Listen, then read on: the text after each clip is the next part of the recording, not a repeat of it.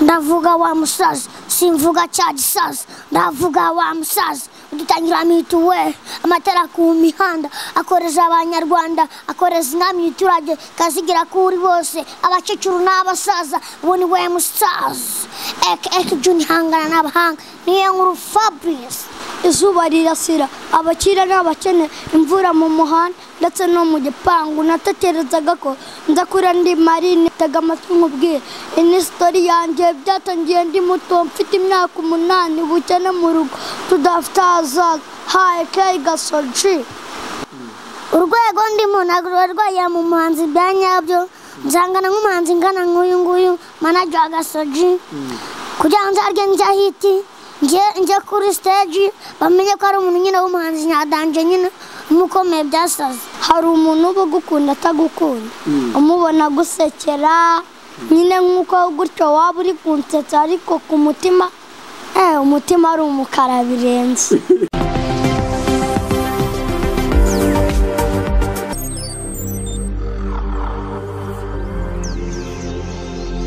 twongeye kubashimira abakunzi ba ukwezi tv uburyo mukomeza kubana natwe mukora subscribe muduha ibitekerezo bitandukanye natwe tukabashakira amakuru ah, tukabaganiriza abantu batandukanye. Uyu munsi muri kubabona ni abantu bakomeye cyane eh, ni abana batoya ariko bafite ibintu mu mutwe navuga ko byo bitari bitoya ni bakuru cyane mu mutwe. Ndagira ngo tuze kuganira nabo. Ndahera kuri uriya wo hepfo aratwibwira ah, nyine nk'umu- nk'umuhanzi nk'umuji atwibwire hanyuma tuze gukomeza na mugenzi we. Yanjye nitwa ishimwe pacifique ariko iry'umuhanzi ni aka gasoji. Aha gasoji rero mwamubonye uyu munsi ni we turi kumwe turi kumwe n'undi mwana hano mugenzi we. Ah, nawe uratwibwira. Bahita nkuru fabrice izina ry'ibanze bahita eke eke juni hangana n'abahanga. Aha abo bana rero turi kumwe buri umwe asanzwe azi undi ariko ni ubwa mbere bagiye guhura. Ndagira ngo duhere kuri ah, niyo nkuru fabrice. Fabrice gasoji wari umuzi umuzi wiki? Namuzi ku mpano nyinshi zigiye zitandukanye akaririmba akavuga ibintu byinshi cyane. Namwishimiye kubera ku mpano ze ko akaba ari nziza naramwishimiye cyane. Um- umubona bwa mbere amubonye? He namubonye kuri yutube wabonye se hari umwana umeze gute wumvaga mbese umufata gute ukurikije ko nawe uri umuhanzi we ku rwego rwawe wumvaga ari umuntu uhagaze gute? Numvaga ameze neza mu bana bato cyane nkatwe twiga tugashyiramo no guhanga. Nk'uyu nguyu gasoji agafata kera buriya yajyaga yirirwa agatora injyamane. Ariko ibi bintu byarahindutse kuri uyu gasoji asiga ahanga indirimbo abo muri amerika bakamumenya yari azwi n'abo mu rugo gusa. Ah, twageze noneho kuri gasoji gasoji wowe ni ubwa mbere uhera fabrice amaso ku maso. Ariko ni bwo bwa mbere wamwumva cyangwa wagira icyo umumenyaho? Haya ntabwo ari bwo bwa mbere. Kuko no kuri yutube njya mubona nyine ibiganiro bye nawe afite impano irenze. Mm, wumva gushaka kubona na fabrice? Cyane. Umaze kumubona wumvise umeze gute? Numvishije nyine nishimye cyane nanameze neza. Ubu ngubu ndashaka kumenya mu noneho muri hamwe mwese muri abana abantu benshi bakunda. Ni nk'iki wavuga kuri wowe na fabrice noneho? Uvuze mwembi muri hamwe. Ukavuga wenda nkurikije impano yanjye uko mbona imeze n'iya fabrice mbona twagera kuri ibi ngibi. Ubundi impano yanjye n'iya fabrice. Byose tubiteranyije.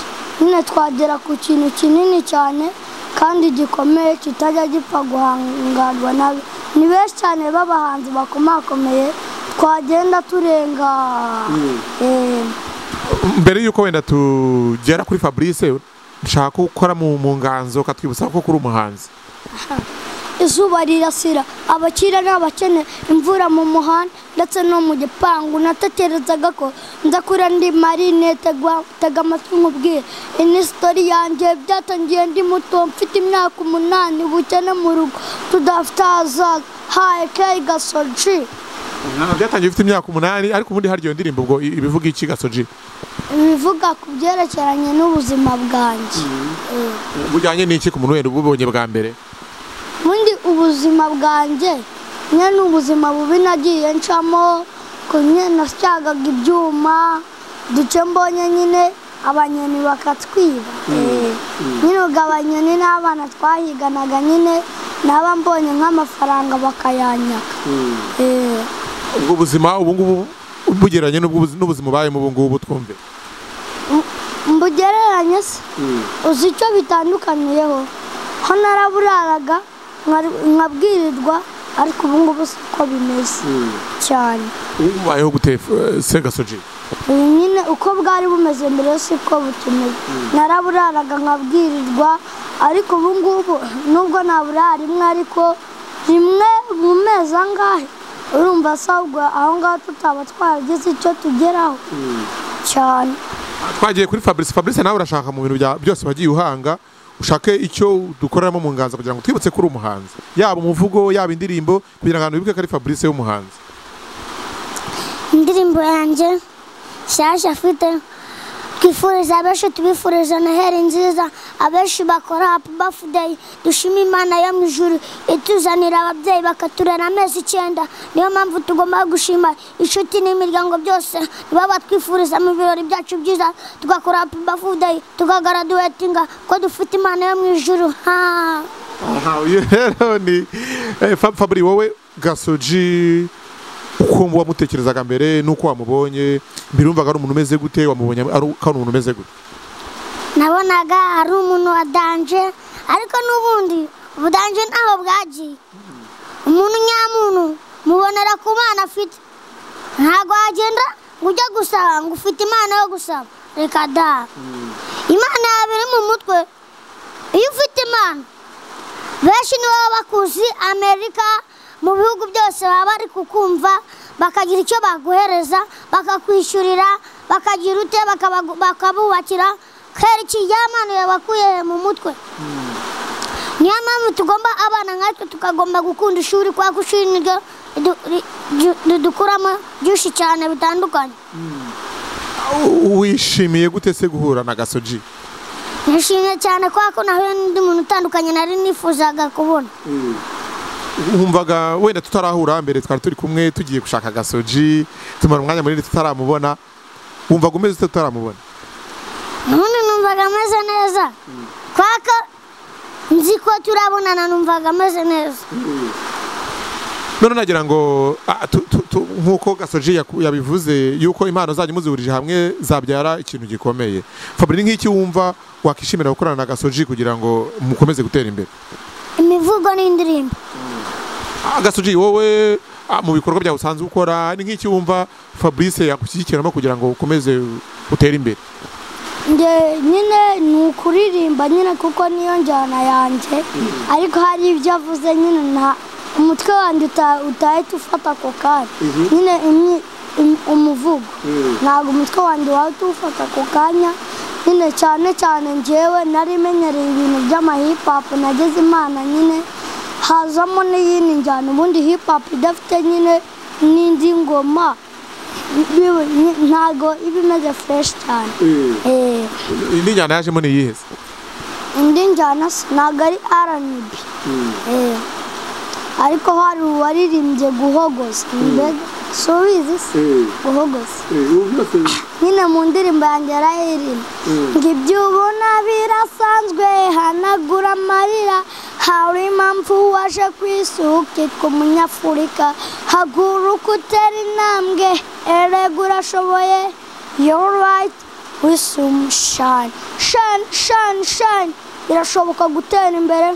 Ako nako nishyiriyemo guhimba indirimbo kugira ngo uyihimbe uyirangize. Bigutwara igihe kingana iki? Ubundi manager wanjye arabanza akayandika. Ubwo byarangira gutyo ubwo tukagenda. Nyine hari ubwo bimera nkaririmba nyine nkoresheje umuhate mwinshi cyane nyine ku buryo byatwara nk'amasaha nk'abiri atatu gutyo ubu se urateganya iki wenda ku bantu bakunda gasoji bakunda ibikorwa byawe bakunda ubuhanzi bwawe bakunda ibihangano byawe? Ni ibiki bateganyiriza vuba ngaha dore icyo ndi kubateganyiriza ni igitaramo kizaba kuri makumyabiri n'imwe z'ukwa cumi n'abiri kizabera i kanombe kuri sanitasi mbega nzi yuko nyine bagiye batangira no kumanika ni- ibikopi byose. Eh, muri icyo gitaramo uzakora uzaririmba? Eh, nzaririmba. U- mbese abantu uzabonamo cyane na- ni abana Eh, abana ubundi nyine nibo nshaka. Nyine mbega indirimbo yanjye nyine ni iy'abana. Nyine nk'uko ubundi igitaramo ngiye gukora. Igihe kizabera byose cyane cyane aho biri kwa mutangana. Nyine aho mama akorera.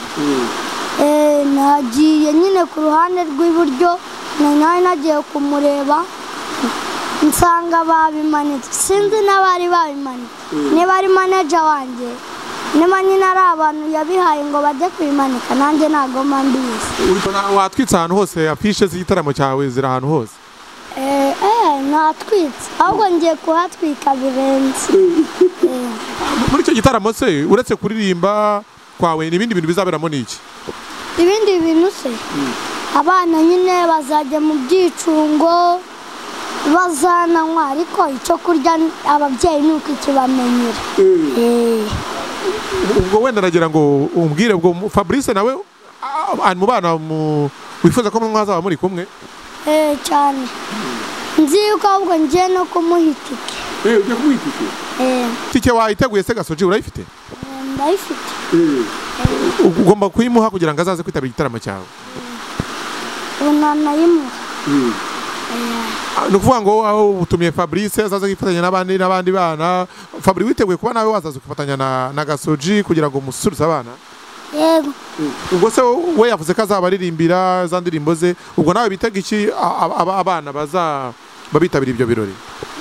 Nawe nzabaririmbira bavugira n'umuvugo ubu se umaze kubinoza neza wariteguye? Cyangwa kubera ko ubimenya gutumiye uzahita ubipanga ubishyire ku murongo neza ku buryo uzaza ugasusurutsa abana? Yego. Gasoje mbwira fabrice naramuka aje akaza kwifatanya nawe kuri uwo munsi ukuntu muzaba bimeze. Abantu benshi barabakunda abana benshi barabakunda n'abantu bakuru barabakunda. Duha ishusho y'ukuntu icyo gihe kuri uwo munsi bizaba bimeze. Mba numva bizaba ari byiza nyine mu gihe nawe azaba ari kuvuga umwivugo benshi cyane bazabyitabira. Eh, hanyuma se wenda nyuma y'ibyo icyo gitaramo ibindi bintu by'ubuhanzi bwawe indirimbo amavideo byo abantu bagukurikira bitega iki? Eh, nyine nk'indirimbo n'izindi zigiye gusohoka ariko cyane cyane yuko bungize indirimbo enye iya kane nyine ni korabo nyine n'undi mwana Eh, ariko yo ntabwo ndi kuyibuka neza. Ntabwo urayifata Eh, gasoji ndashaka ko wowe na fabrice buri umwe atubwira. Kamere kuri fabrice. Fabri wumva nk'intera ushaka kugeraho mu buhanzi bwawe ari nk'iyi? Kuvuga imivugo. Nyine ushaka kuvuga imivugo no kuririmba ukazagera ku ruhe rwego? Uvuga uti ningera kuri ibi ngibi mu buhanzi bwanjye wenda bikamfasha kwinjiza ku buryo ubu n'ubu ni byo bizanshimisha. Wumva ushaka kugera ku ruhe rwego? Shaka kugera ku rwego rwo kuba umuhanzi. Ariko n'ubundi uri umuhanzi. Ndi umuhanzi ariko urwego ndimo ntabwo ruba rwagera mu muhanzi bya nyabyo. Nzangana nk'umuhanzi ngana nk'uyu nguyu manager wa gasoji kugira ngo nzarye njya hiti njye kuri stage bamenye ko ari umuntu nyine w'umuhanzi nyadanje nyine umukomeye byasaze hanyuma gasoji wowe wumva ushaka kugera hehe ndenge icyo numva nshaka kugeraho nyine ni ukuba umuntu ukomeye cyane ku buryo abafana mfite ubu. Bazaba barenga abo nkoresha igitaramo ku buryo na peti sitade batakwirwamo. Eh, ari benshi cyane. Njye niyo ntera niyo ntera nshaka nyine yuko nzageraho Cya- cyane yuko nyine njye nkunda ubuhanzi nkunda no gufasha abandi. Uwamfashije nubwo nyine ntibamwita rose eh, rose umutoni Eh, U- ubu se wumva kugira ngo ubigereho ugere kuri urwo rwego rwo kuzuza petit stade n'abantu bakabura aho bicara. Wumva bi- biguzagusaba iki?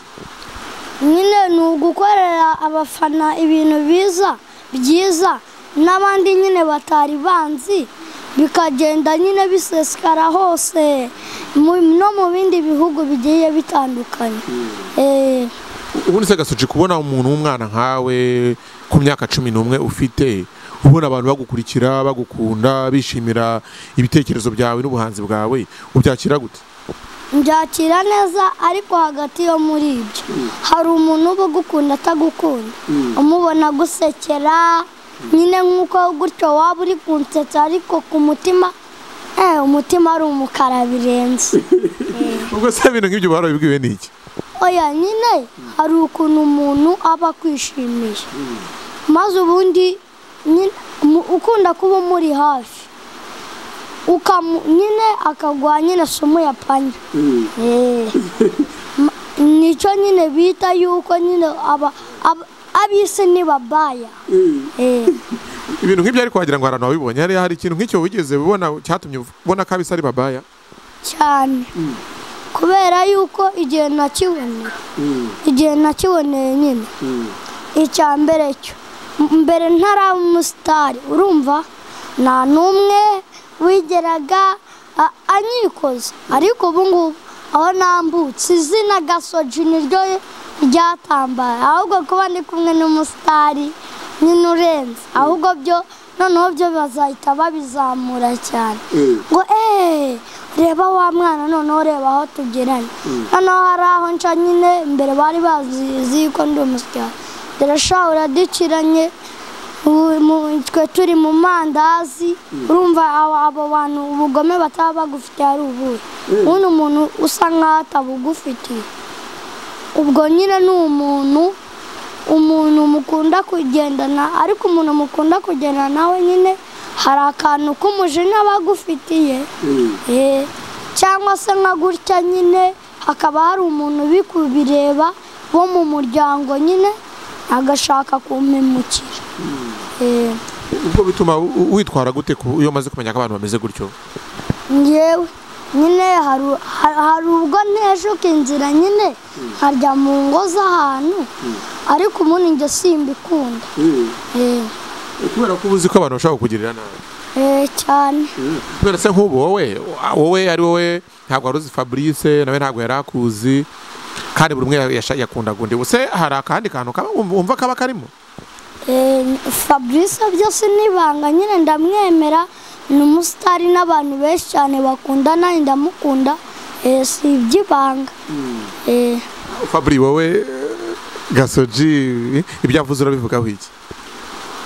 Nabivugaho ku mpano ze kuzajya amufasha kuri byinshi nkakamwandikira imivugo nkakayimuherereza agafata mu mutwe hari ibyo avuze avuze ngo abantu ngo ngo hari igihe baba ubona ngo bakwishimiye ariko ngo ngo harimo akantu wowe nawe ibyo niko ubibona hari igihe ugenda mu nzira ni nk'urugero njye utanga mwene gasogi turi kumwe turi kumwe n'undi muntu gasogi amereye neza ariko wa wundi turi kumwe wundi mu nzira buriya? Ntabwo amereye neza. Dushaka kugera mu nzira atabitubwiye. Akadukubita icyuma mu nda. Kubera iki? Wa mujinya biturutse ku mpano yacu. Kubera iki? Ishyari. Ubu se ahantu kugira ishyari wowe ukabona ko ibintu wigereyeho urwego umaze kugeraho hari abantu bidashimishije Yi, hari abantu babona ati kiriya cyana ko kigiye kudukiza ko kigiye ku- kudukira ko kigiye kudukiranara bagafata buriya hari n'aho twajya gusenga hari ahantu twajya gusenga ba pasiteri waho ajya ajya mu ijuru imana ikamubaza ibisubizo ikamuhereza ibisubizo baravuze ngo hari igikombe cy'uburozi kiri kunkurikira aha- ahantu hose ngo ariko ntabwo cyari twasubiye none twasubiye twasubiye gusenga aho hantu baravuga ati twasubiye gusenga aho hantu pasiteri ajya mu ijoro aravuga ngo imana izahora ikurinze kizaza kitari ki- gisubira cyicuwe mu rozi uzaba wakinyoherereje ubwo ntabwo byaguteye ubwoba? Ubwoba se gusa umurindi. Ubwo bi- bi- byatumye wu- wumva umeze gute? Byatumye numva ameze neza. Urumva nyine ku- ku- kumva yuko hari umuntu ufite umujinya ku bantu. Ariko nubwo afite umujinya njye ntawe nadakunda. Usibye satani ni we nadakunda. Ariko umuntu uba ku isi ya rurema ntawe nadakunda amana Eh, mwese rero turaganiriye tuvuze ku by'impano zanyu ah, tuvuze uko buri umwe yafataga mugenzi we. Reka twigarukire mu buzima busanzwe. Iyo mubonye abana mungana bari ku rwego rwanyu imyi- imyitwarire yabo abata ishuri i- nka gasoji we hari n'abana bajyaga abana banywa ibiyobyabwenge. Gasoji ntabwo bajya kubona mungana? Cyane rwose ha- hari n'ababinyosha nyine. Eh, cyane hari nyine hari n'umwana bita kaburimbo nsuhuza. Nyine hari abandi nagendaga mvuga ariko hari n'abandi twagiye tubana mu mihanda ntagendaga nibuka amazina yabo. Eh. Ubwo se ujya ubonye nk'abana mungana abana mungana ba- ba- bajya mu biyobyabwenge ni nk'icyo wababwira icyo nababwira abo bana ibiyobyabwenge ni bibi byica ibi- ibihaha cya mbere njye nanyweye irange n'abandi bana banshuka kunywa urumogi n'itabiye si ibyo kubeshya Eh, ariko nyuma warabiretse burundu ubu ngubu ubu ngubu ahubwo nabonye nu- n'uwabo ari kubiba namuraburiza si ibanga bakamujyana bakamutamo bashaka bakamukatira urwa burundu. Fabri wowe abana ba mungana wenda tubuye ku by'ibiyobyabwenge wowe uratubwira nk'abana batishuri bangana nawe babona ko kwiga nta nakamaro uretse kwiga hari ikintu bimaze? Baragafite kwako n'ibingibi njye na gashaji turimo. Ntabwo twari kubimenya tutagiye mu ishuri. Buriya twagiye mu ishuri turatekereza ati turimo kwiga ikinyarwanda. Kwa kuntu dumva imivugo ya gicuti y'inshuti na gicuti tugakuramo ikintu natwe tukazagifata tukajyana kuri radiyo bi- bigatuma twunguramo ibintu byinshi naho mva abana bata ishuri ntimugate ishuri ishuri ishuri ni mama wawe. Ishuri ishuri ni mwarimu. Ishuri ni rya rindi niyo waba uri kugenda ukagera mu nzira z'inzitane. Uravuga ngo iyi niyo ngiye kunyuramo. Kwa ko nagangera mu nzira z'inzitane utarize imibare ati umenye aho nyura. Ah, ni ukuvuga wowe aba bana babata ishuri nyine ubwo ah, bumvaga ko nta ntacyo rimaze. Ubutumwa bahaye ni uko bagomba gusubira mu ishuri. Aha hari abavuga bati kwiga k'umuntu w'umuhanzi ngewe birahagije nabona nasajya ntimba imivugo nanaririmbe birahagije kwiga si ngombwa. Kwiga ntukate ishuri. Namwe ababyeyi mwifuriza abana banyu kwiga. Ntukabone yirirwa azerera nimugoroba nubona atashye wamuhamagara abayobozi ati uyu mwana yanze kujya ku ishuri. Bamuhane mu gitondo bazamujyana ku ishuri. Yige nawe bya bindi by'uburaza bivemo. Agera ku mwana arutana ba diamond. Kubera iki? Ko yakunze kwiga. Ni nka mukuru wanjye ajya afata. Nko mu rugo bamuhaye ibiraya byo kujya gucuruza. Akabura amafaranga bikamunanira kuyabara kweki? Ntabwo akunda kujya ku ishuri ajya mu ishuri akirirwa hanze.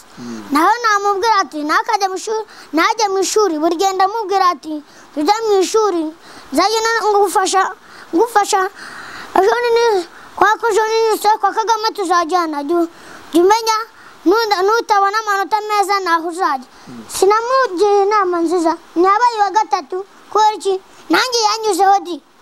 Nanjye wam- wamuhaye inama yanyuzeho nanjye nabaye wa kane na- nawe wampaye inama namunyuzeho nawe yanyuzeho kubera iki kubera ko namugira inama akazubahiriza akajya mu ishuri ubu ngubu yahise aba umuhanga aba uwa gatatu yahise aba uwa gatatu gasoji ah, wowe ibijyanye n'abana bata ishuri nawe urumva icyo gihe cyajya ujya kujya gusyaga ibyuma abana mwigana mwabaga muri kumwe nta by'ishuri ishuri wowe uribona akamaro karyo ari akahe ubundi ishuri nyine ibyo avuze ni uyu ni byo. Ubundi ishuri nyine nyine hari ukuntu nyine umuntu wanyu hari ukuntu ugenda nubwo waba uri marina ariko warize. Ugahura n'umuzungu ubu ubu yakubaza ikintu. Mm? Uka- ukavuga ibindi ukavuga ikinyarwanda kandi watakizi. Ka- ishuri ni- ryo risumba ibindi byose. Kubera yuko ishuri ni ryiza mbivuze mu ruhame bose banumva. Ishuri ni ryiza kurenza ibindi. Kuko ishuri uraryiga ukajya hanze wa nyine wahura n'umuhanzi ukomeye nyine ku buryo nyine mugiye nyine muri bato. Uzanye iby'ikinyarwanda nyine abantu bagufata nabi. Ukavuga icyongereza nk'u- nk'uri nk'uko ndi kuvuga ikinyarwanda.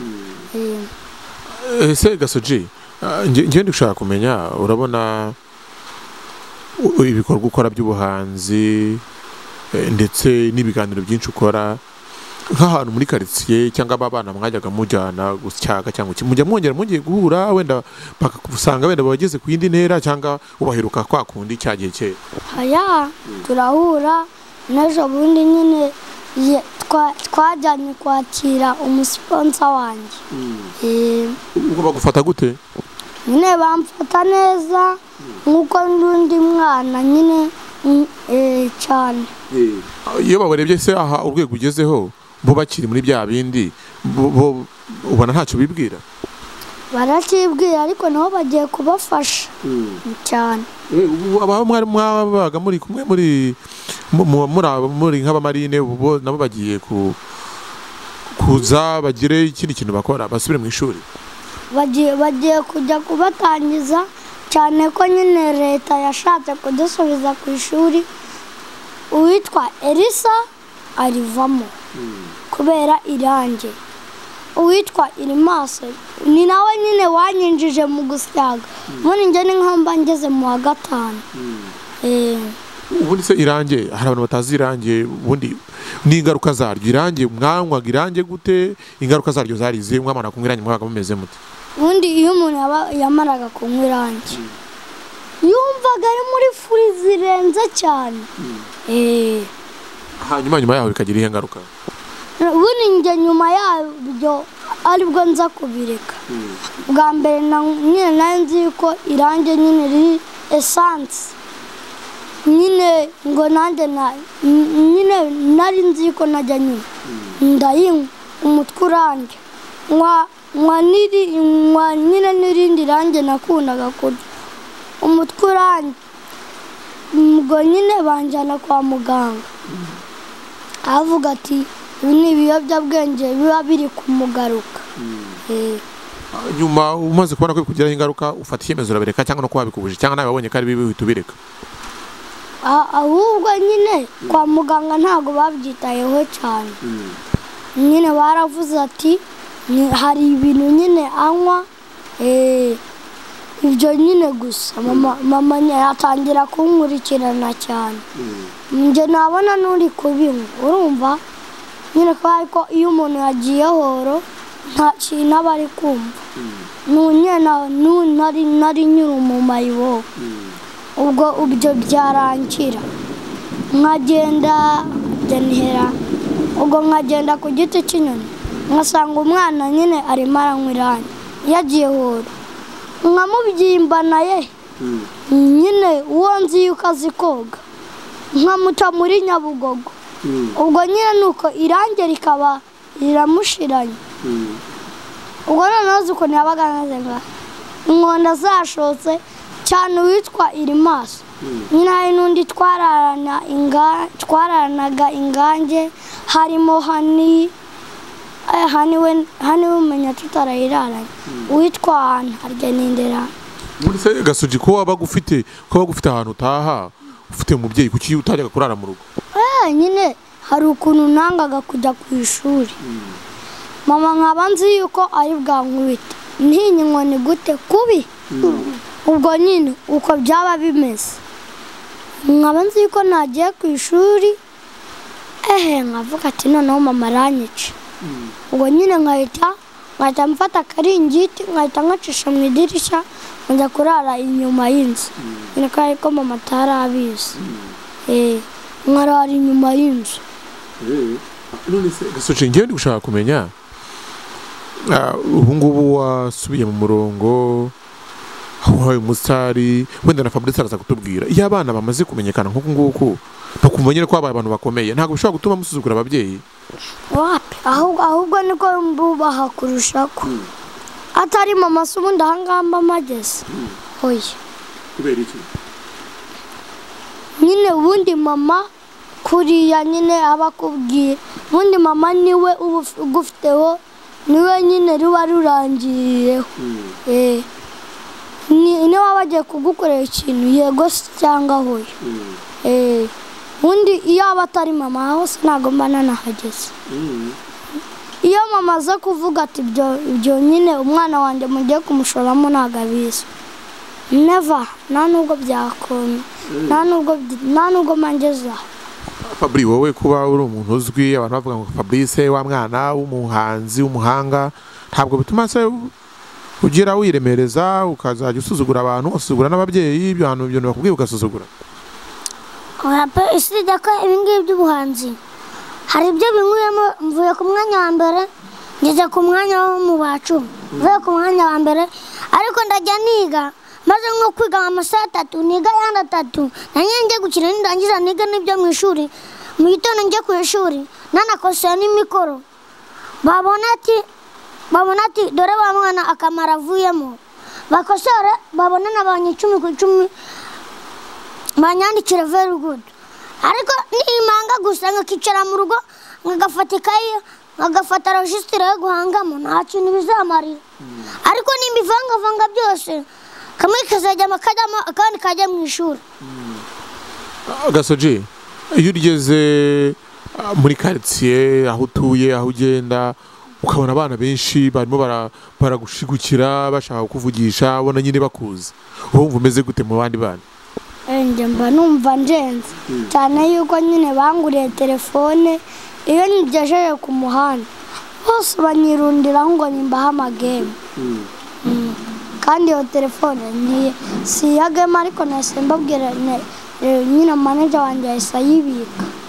Ubwo se telefone ntabwo izajya ikurangaza gasoji ni iyo kurepeteramo. Eh, nyine ni iyo b- bampayemo nka kado. Ninde wayiguhaye ubwo? Ni- mukuru wa rose. Yari iguhaye ngo ujye ushyiramo indirimbo ubone ukuntu urepeta Mm. Ubu- ubona se izajya igufasha iki wenda mu- mu mu muziki wawe mu bikorwa byawe gukora? Mbona izamfasha ikintu gikomeye cyane. Eh, gasoji ndashaka ko noneho nk'abantu mwahuye ah, urumva mwese murarenze mwese buri wese afite impano. Ni nk'ikihe kintu ubona uvuga uti "Ah, ahangaha fabrice arandenze ahangaha kabisa nanjye ndi umuhanzi ariko fabrice ahangaha arandenze. Njye icyo ndenzeho. Azi imivugo njye sinyizi azi kagame simuzi. Eh, azi wese ntabwo kagame se ntabwo uzi ko ari perezida w'igihugu we ntabwo ubizi ndabizi ariko wi inamba nawe azi na fasiti redi ariko njye simuzi wowe wumva ubonye fasiti redi muhuye icyo wamubwira ari iki njye namubwira ati nye namushimira nyine nkanamubwira ati "N- a- n'abandi bana nyine aza- azafasha nyine bave mu mihanda Eh, ibyo ngibyo ni byo wumva wemera kuri kuri kuri fabrice. Hoya. Mm, icyo mwe ararenze nge cyane. Umenya ahubwo n'urwego rwa n'urwego n'urw- n'urwego rwe nyine njye nta- ntapfa nyine kurugeraho ariko nyine fabrice ni inshuti yanjye eh, ararenze nyine ndumva ahubwo anandenze. Eh, Fa- Fabri wowe iyo urebye gasoji ni iki ubona kuri gasoji ukabisa ukavuga impano ye mbese ukavuga uti nanjye mfite impano ariko mbona gasoji nawe hari ikintu. Gasoji afiteho akantu ndusha gato gato cyane kubera ko ariko gasoji ikintu ndushya agira imbyino nziza ariko hari akantu gato konyine katumye imbyino yipfa kamwe konyine sishaka kukavuga katumye imbyino yipfa wakavuze ako kantu ni uko bamwirukaseho n'inkoni niko kati buriya baravuga ngo uyu ni ikirara baravuga ngo uyu ni ikirara kandi ni umusitari umwe wiyegamiye aho. Ariko byari yarimo yerekana muri video yerekana ukuntu iyo umwana abaye ikirara nyine bamwirukanka. Yari ari kugira yerekana uko umwana abaye ikirara uko byatumizaho nk'umwana ngo amwirukankeho ajya kumufata. Nabwo iriya ndirimbo ni nziza yayiririmbe n'ahantu heza kirisipede ni ahantu heza. Nanjye kwa gatatu kwa kane narahageze mbona ni ahantu heza cyane. Buri umwe ashobora kuba afite ibintu runaka yifuza kumenya kuri mugenzi we. Ngiye kubaha akanya gasoji urafata umwanya ufate mikoro uganire na fabrice umubaze ibibazo byose- ushaka kumubaza agusubize. Hanyuma na fabrice nawe araza gufata mikoro akubaza ibibazo ashaka kumenya kuri wowe hanyuma nawe uze kumusubiza. Sibyo? Turahera kuri gasoji yanjye banyita ishimwe pacifique nkaba ndi umuhanzi. Iryo banziho ni gasoji icyo nashakaga kumenya kuri fabrice ajya nyine kugera aha hose akavidewo ke ka mbere nyine na yo akabonye yambaye umupira umuruta. Eh, none wabinsubiza? Ngewe ukuntu byagenze. Twari dutuye ahantu bita ugasoro rishaje inzira iranga ndavuga ngo buri wese nishakira akazi. Inzira iranga yarandira ati buri wese nishakira akazi njye ahantu bita ku rukiko ngiye kuvoma amazi. Munambwira ngo vuga amazina mbwire nawe wiga. Ndabivuga. Njye arambwira ngo ndirimba iriya ndirimbo ndavuga uriya musaza. Ndayiririmba. Ndayiririmba ndayirangiza. Bukeye bwaho haje afande mukuru mu karere ka nyamasheke haza n'uwo bita depisi haza na visima w'akarere bari ba- barabanje barashaka batumizaho n'amagare kuja kushaka. N'amamoto barambura basanga aho bita muri gare ku isoko rishaje. Nayo najya ahantu mu bukwe ni umuntu wari inshuti yanjye wari wabatijwe. Ubundi rero bukeye bwaho twimutse twagiye ahandi kuko twagendaga ducumbika ahantu bari bubatse inzu yacu ahitwa kimwe. Ubundi rero turafata turafata ubundi rero bukeye bwaho tujya ku karere visi mara tubwira ngo himba umuvugo ugiye kuzajya kwa kagame nabongeye kujya kwa kagame tuba mu nzu ya gitwa kimwe ngira nama ngira n'ibintu bya buroge ngira ngo ni ahantu hafi ni ahantu hafi mu karere ka nyamasheke kwako sinenzi kagame ari iki ubundi rero ndarangiza mujyanye ku karere barambwira ngo ubuzane ngo usubiramo utawure uwureba ndawusubiramo. Barambwira ngo ngera usubiramo utawureba ndawusubiramo inshuro eshatu niko bari bambwiye. Musubiramo. Bambwira ngo ninjye kwandi ninjye gusubizaho ngo ukuntu jeannette kagame ngo nzaba ngenda ndabishyiraho. Mbo, bukeye bwaho tujyayo. Tugihura twageze hariya kuri hoteli kuri ya hoteli ituranye no ku kibuga cy'indege ni ho twaraye twinjiyemo twahuye n'umukobwa wa mbere wari ukutwaka udupapuro twaho tujya kuryama duha n'imfunguzo z'aho tujya kuryama ijambo rya mbere yatubajije yaratubwiye ati ni wowe umwe ugiye kuvuga umuvugo ndavuga ngo yigo tugeze mu modoka ya kapi mu modoka iba yanditseho kigali jeannette kagame itujyana itujyanye gutembera iba ijyanye abantu jeannette kagame aba yajyanye ndo tujyaho jeannette kagame twari twakoreye ibirori ndavuga ndavuga. Bukeye bwaho banyohereza miliyoni eshatu. Kuri kode. Ndavuga ngo noneho ndakize birarenze da. Niyo natangiye kuri kote ku makumyabiri na bitanu visi meri y'amayi. Njya kubona boherejeho miliyoni eshatu. Ndavuga ngo noneho nakize burundu. Buri kwezi boherezaho ijana na mirongo inani. Ndavuga ngo jesus christ. Na n'ubu baracyari kohereza. Ubu kwezi nigushira bazoherereza. Kubera iki? Nakunze ishuri ndiga cyane ndarikunda ubundi rero nkunda n'imana imana na yo ishyiramo ubwenge ni byo ngibyo byagarukije Eh, ndumva ubuzima bwawe bwari bugoye nawe nk'ubwanjye Eh, noneho noneho ubwo gasoji uramubajije icyo ashaka kumenya fabri nawe ushaka kuba hari icyo ushaka kumenya kuri gasoji nawe uramubaza ikintu wumva ushaka kumenya wenda utari uzi cyangwa wijyaga wifuza kumenyaho mbere y'uko mubonana hanyuma aragusubiza. Gasoji ikintu ushaka kukumenya kugira ngo nzamenye naho iwanyu kugira ngo ninza no kugusura nzamenye aho uherereye. Ubundi rero njyewe banyita nemu fabrice. Ikintu nashakaga kumenya kuri gasoji ni uko gasoji ngiye kumubaza aho imana yatangiriye atoragura injyamane ntayabonye bakamwaka indara. Icyo ushaka kumubaza ukuntu byagenze? Nyine uko uko ubivuze nyine ni byo ngiye kugusubiza. Ubwo ubwo nyine ubundi mbere y'uko ibyo byose biba. Hari umwana bitaga gatete uwita irimaso uwitwa manudi uwitwa na erisi ndetse nyine na fabiye ye na hani n'abandi nyine n'abandi kwibuka amazina yabo.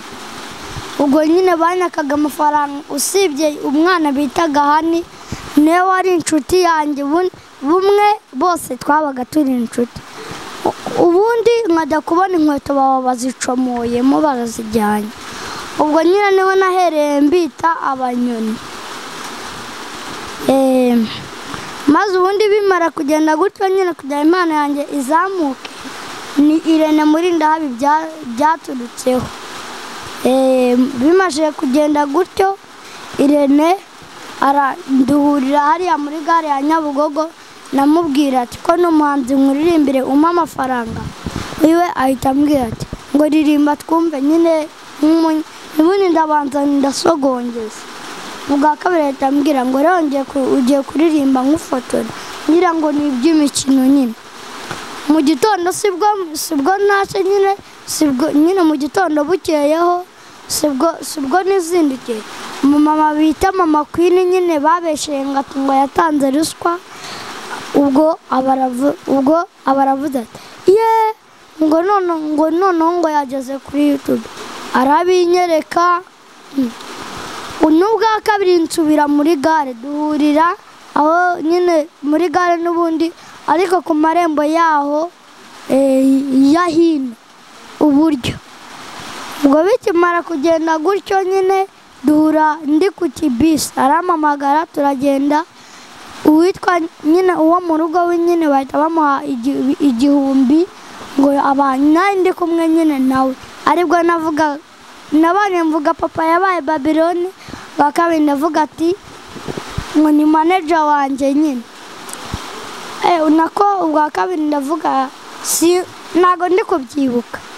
Eh, bikimara kugenda gutyo rero irene turongera turakorana ahita ngurira izi nkweto ahita ngurira n'izindi za sinayikazi ubwo nyine ndazambara n'ubundi bita asiya araza nyine anzaniye n'igare. Bikimara kugenda gutyo arinzaniye nyine nkazajya ndigendaho. Nkarigendaho ngiye hose ye. Ubwo nyine ntaho ngaho byahereye. Fabrice rero wabyumvise ubuzima bwa Gasoji kugira ngo abe ari umusitari wamenye ubu ngubu ubona nyine nawe uvuga ati nifuza kubona nuko nguko byagenze. Nawe eh, Gasoji wumvise life ya Fabrice uko byagenze kugira ngo abe ari ku rwego agezeho uyu munsi. Ah, ngaho rero murahuye ah, ndagira ngo musezeraneho mu- eh, Fabrice Gasoji yagutumiye mu gitaramo cye. Gasoji nawe Fabrice mwabonanye. Mwaganiriye nanjye turaganiriye ndagira ngo musezeraneho mutubwira noneho ikigiye gukurikiraho haba ku mu bikorwa byanyu no ku mubano wanyu nk'abantu b'inshuti. Ikigiye gukurikiraho nyine tugiye kuba inshuti birenze. Eh, nyine nuko nari nanabyiteguye nyine hari n'akandi kantu nari kuzana. Ariko agakiza nta impano se niki ni ibanga rya babiri. Rijemo uwa gatatu.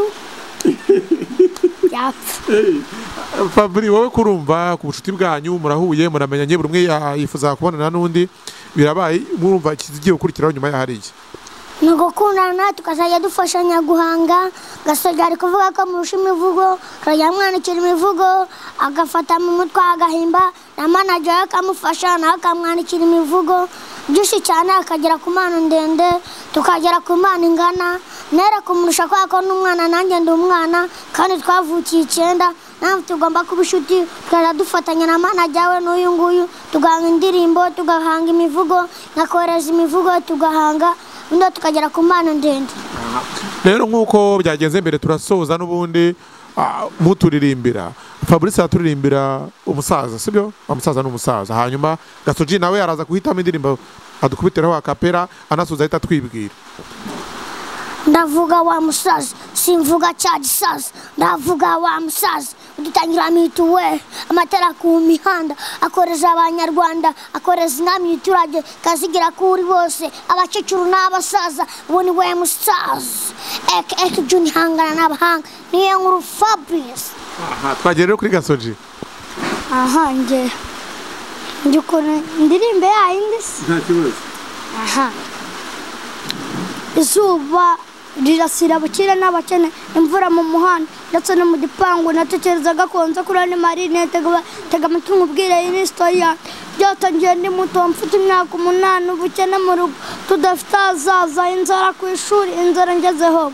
Imodoka y'ishuri nteye amazi nerekeje cy'inyoni ngo nde gusiga ibyuma. Duke mbonye abanyoni bakatwiba. Nakomeje guhiga kuko inkoni amarira kuri mama buri kane y'imboni narahize biranga gusaga ndabireka. Niko gufata inzira ninjira mwinjana amahoro ku ijana amahoro ku wamese nkani ibyo nabonye ku muhanda. Byatumye mpinduka uwo ndi we none. Ubuzima bugoye urimo. Humura imana irabuzi ntiwihebe humura humura imana irabuzi ntiwihebe banyise mayiboga banyurije imodoka banjyana kumfunga ijoro ryose hasi nibaza impamvu nta mbabazi bagirira umwana. Ariko simbarenganya narabwiwe sinumva rose ni umubyeyi rwene ni umubyeyi perose ni umubyeyi rwege banks ni umubyeyi hayi keyi gasoji. Murakoze cyane gasoji na fabrice.